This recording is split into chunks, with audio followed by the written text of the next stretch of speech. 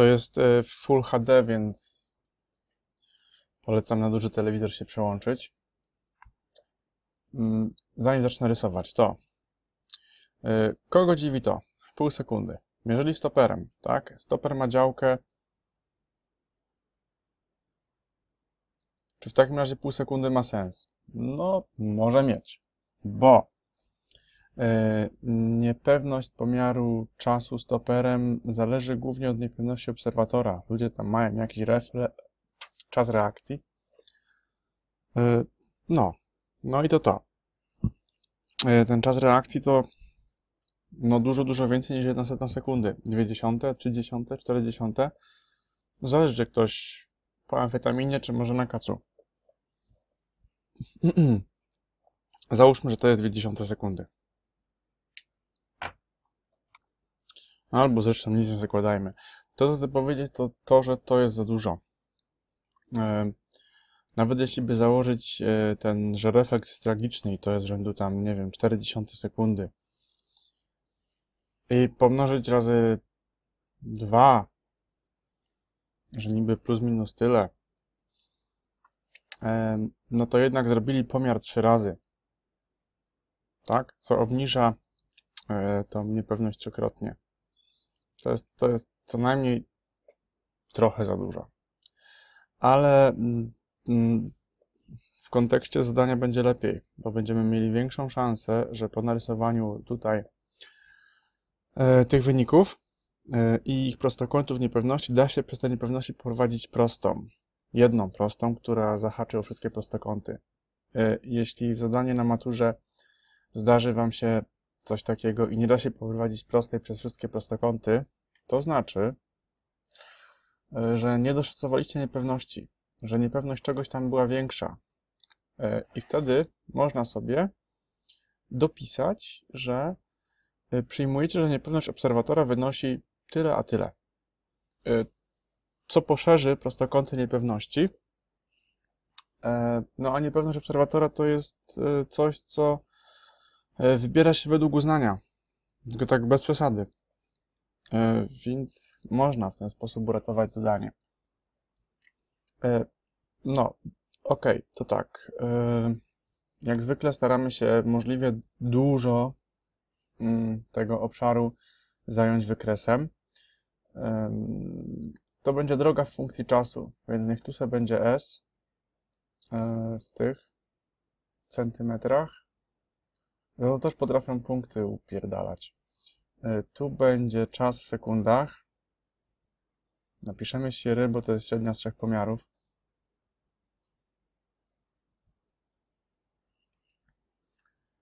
Ile tego czasu mam tu rozmieścić? 20 sekund, 21. Dobra, 1, 2, 3, 4, 5, 6, 7, 8, 9, 10, 11, 12, 13, 14. Uff. Mm, 14. To mógłbym, żeby zająć cały wykres, zrobić tak, że każde 1,5 centymetra mm, to będą... Nie. Mam 14 cm w dyspozycji. Tutaj trzeba przynajmniej te 21 sekund mieścić. No i wychodzi z tego coś takiego. 14 dzielone 21 i to będzie dosyć trudno mm, rysować na wykresie. Więc no raczej zrezygnuję z zajęcia całego obszaru i po prostu wykorzystam tylko 10 cm. Mm, to będzie dużo prostsze w rysowaniu.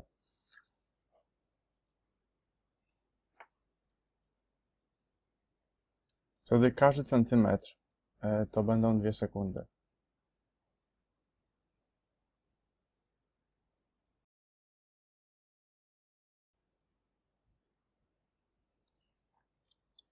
Tak jak mówiłem, zajęcie całego obszaru jest ładne, ale no bez przesady. Jeśli byśmy później mieli się pierdolić z rysowaniem e, takich tam jakichś dziwnych mm, liczb, to, to, to może nie. Może nie, dziękuję. E, teraz drogę. 80 cm. Liczę kreski. 1, 2, 3, 4, 5, 6, 7, 8. Zajebiście, idealnie. Tu będzie 80. A 70. 60. Tego nie trzeba nanosić. Wystarczy nanieść, że, że tyle to jest tam 10 i tu by wystarczyło tyle, że 2 i te nie są potrzebne. Narysowałem sobie bo, bo czemu nie? E, Nie jestem na maturze, mam czas. Kur- 40 to miało być. I 50. No i nanoszę. E, W 2,39 sekundy badziewie zrobiło 10 cm.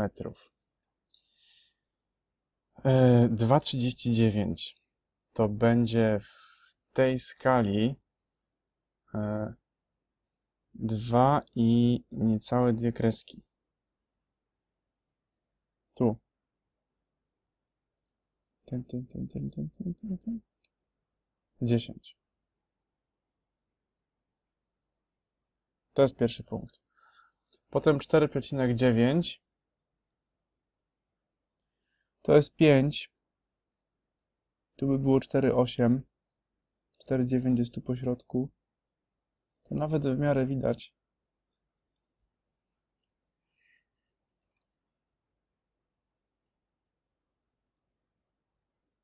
O, grube. E, I do 20. Potem 7,47. E, 7 jest tu, 7,2, 7,4. Ja, Słabo to widać. No dotąd gdzieś powiedzmy. I to do 3.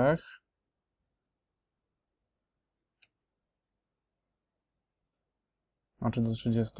Potem 10,01. Mm. Jak to mam? 10,1. 10,2 byłoby tu, no to tak w połowie.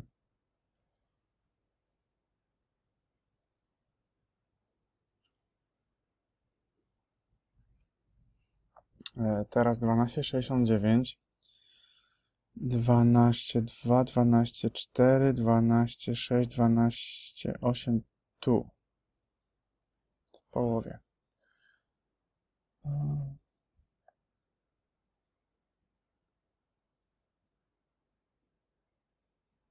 Mhm. 15, 29. 15... 2, 15, 4, to też tu po środku.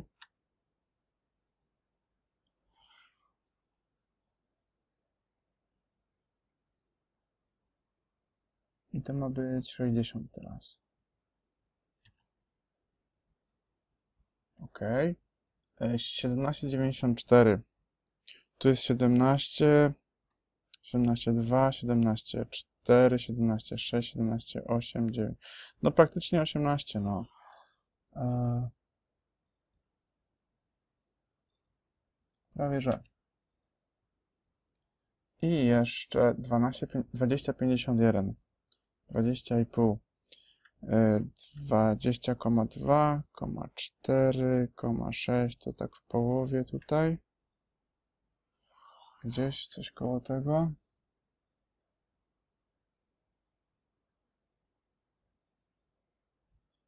Może być trochę krzywa, no cóż. Dobra, to są punkty. Teraz niepewności. Trzeba się zastanowić, jak szerokie i jak wysokie powinny być te prostokąty.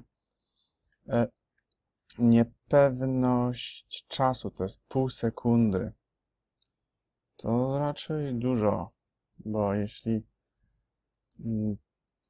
to są dwie sekundy, to jest jedna sekunda, to pół sekundy to będzie 2,5 takiego tego mm, milimetra, czyli te prostokąty będą szerokie na 5 mm, po 2,5 w każdą stronę. No i to trochę odręczne będzie rysowanie, no a co zrobić? E, 2,5 w każdą stronę. Gówno widzę na tym monitorze.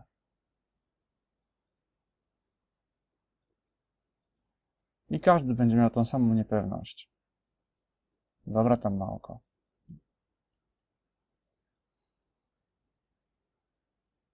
Dotąd. dotąd. 2,5 to tak może dotąd i nie, dotąd.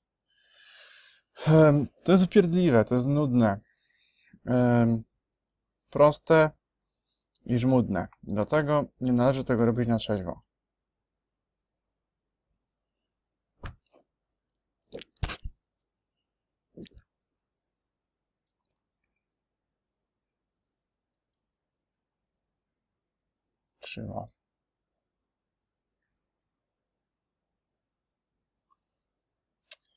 Dwa i pół kryski, dwa i pół kryski. Ja też słabo widzę te kreski.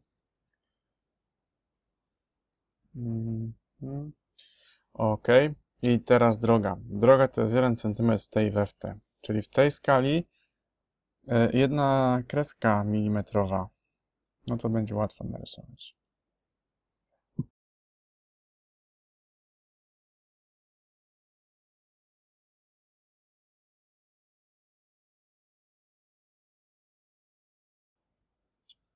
No i teraz można narysować prostokąty y, 5 na 2.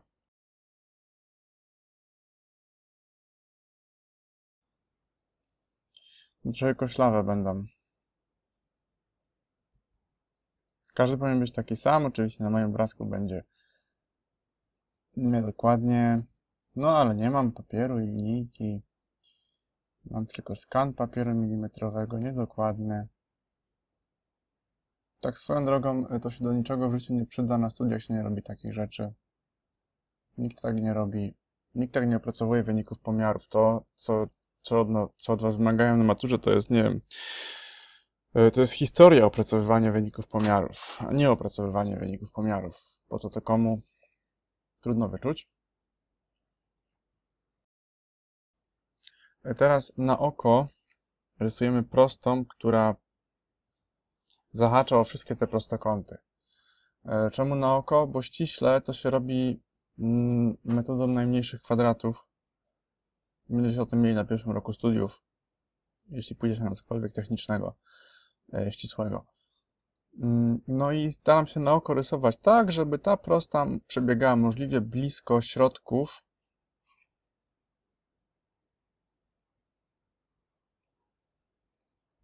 Chodzi o to, żeby średnie kwadraty odległości pomiędzy prostą a środkami tych prostokątów były minimalne. No powiedzmy tak. Coś takiego. Y, Punkt B jest y, dla dzieci z tym, z niedorozwojem umysłowym. Y, Albo świadczy o tym, że autorzy zadania są debilami. No bo z matematyki wiemy, że jak coś ma wykres w postaci linii prostej i jeszcze tutaj, o, przechodzi przez 0, 0, to ogólna postać czegoś takiego, no coś takiego, to jest funkcja liniowa, przy czym wyraz wolny jest zerem, nie? Właściwie to jest proporcjonalność prosta. To jest współczynnik kierunkowy prostej.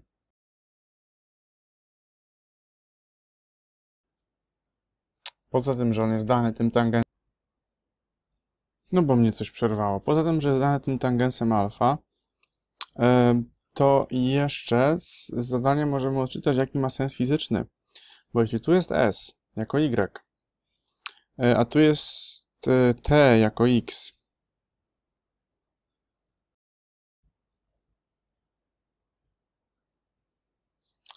to A trochę myli, nie? E, To chodzi o to, że to po prostu stała,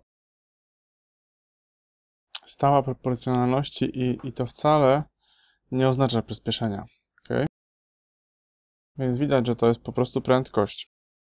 Tak? Jeśli odczytam tangens tego kąta, e, to, to to będzie prędkość.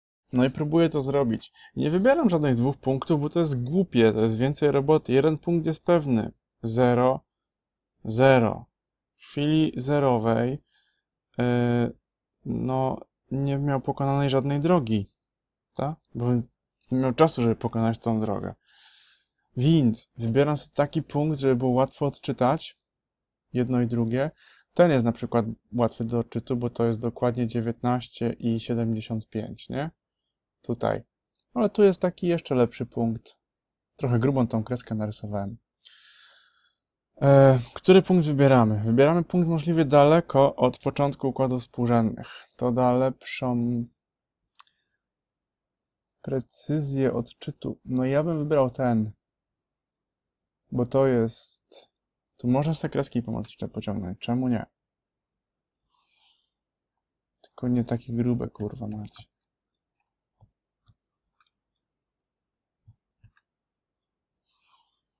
To jest y, 19. To jest 75. E, No i tangens tego kąta to jest przyprostokątna przeciwległa, czyli to to wynosi 75 centymetrów przez yy, przyprostokątną przyległą, czyli 19. To będzie w centymetrach na sekundę.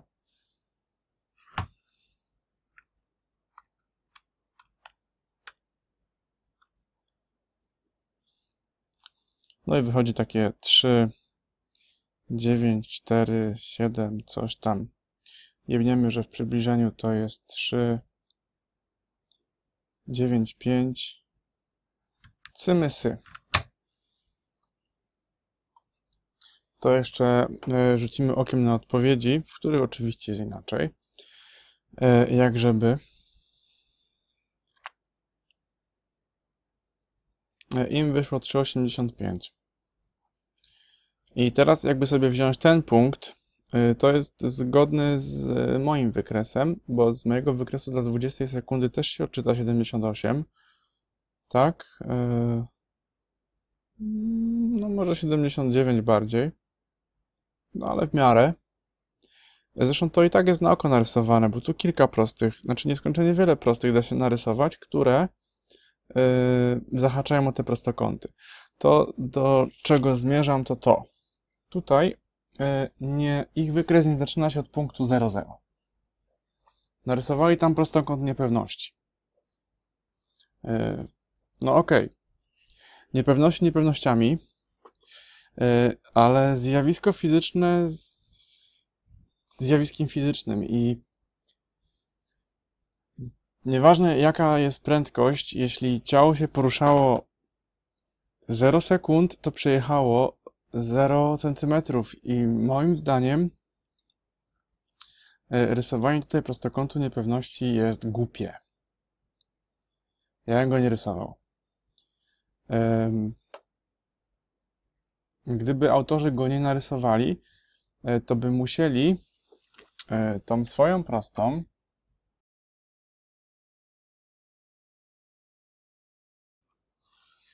no musieliby tą swoją prostą tutaj do 0,0. Tak, to jest prosta, która jest e, pod większym kątem niż ta czerwona, czyli miałaby większy współczynnik kierunkowy i by wyszło coś bardziej w stylu 395, a nie 385.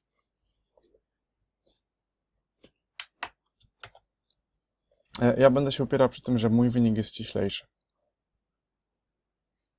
Jeszcze takie coś jak y, normalnie dowolnym programem komputerowym do opracowywania danych statystycznych albo pomiarowych, na przykład Statistika albo Origin. Y, kiedyś, dawno temu, w zamierzchłych czasach robiło się to tak, jak y, Was uczą w liceum. Tutaj wyznacz to jest słówko mocno, mocno na wyraz. Co najwyżej oszacuj. I teraz jak? Idziemy do wykresu i narysujemy dwie proste. Tutaj, jak wspominałem, tych prostych da się narysować nieskończenie wiele. E, ja narysuję dwie proste, które będą e, haczyć o wszystkie prostokąty.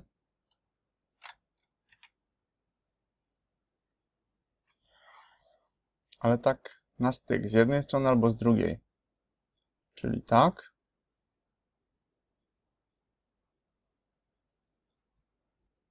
To jest jedna prosta, możliwa, e, która jeszcze spełnia warunki zadania.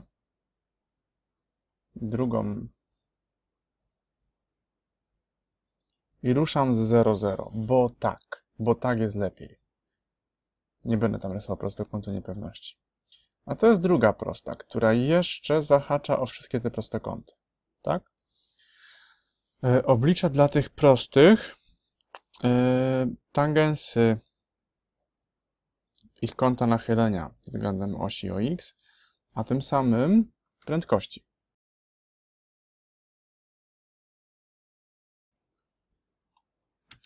Narysowałem kryski dla tej zielonej prostej, wybrałem sobie ten punkt. E, dla niego tangens alfa to będzie tyle, więc 80 przez tyle, czyli 21,4. Co daje? 374. Te same kryski dla czerwonej prostej. Takie. Tangens nachylenia e, czerwonej prostej względem osi x to będzie w takim razie tyle, czyli 75 przez tyle, czyli 18,6. 4, 0, 3. Dobra, wypiszmy co mamy. E, v, które wyszło z pomiarów, czyli to odczytane z wykresu, to jest 3,95 cm na sekundę. V min z jednej skrajności to jest 3,74. To jest najbardziej położona, najbardziej zbliżona do poziomu prosta, która jeszcze haczy o wszystkie prostokąty. I współczynnik kierunkowy najbardziej postawionej prostej, tej czerwonej, równy prędkości maksymalnej to jest 4,03. No i teraz sobie obaduję różnicę.